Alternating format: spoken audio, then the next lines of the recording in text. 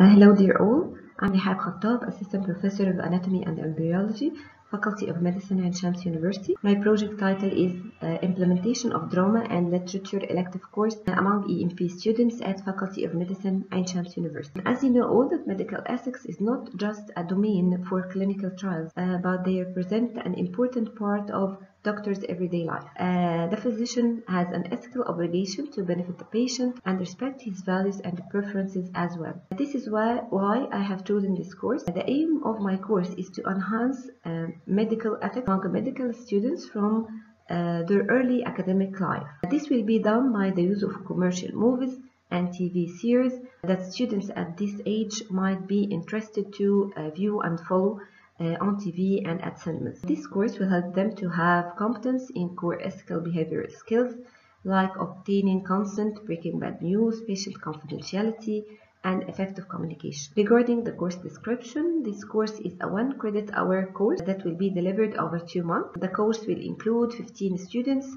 that will be divided into uh, three groups, five students. Uh, three movies will be selected to be introduced through the course and actually they are listed here in table one and this list of course is sub subject, subjected to continuous updates. Uh, one group will be assigned every week to analyze and discuss one movie with their colleagues and at the same time students will be allowed to choose a new movie that they have viewed uh, at the cinema or on TV that they from their point of view has impacted their values and ethics as uh, healthcare professionals. Regarding the teaching methods, uh, members from other relevant disciplines like sociology and arts will be sharing us in teaching this course. Uh, students also will be asked to actively participate uh, in all teaching and learning activities.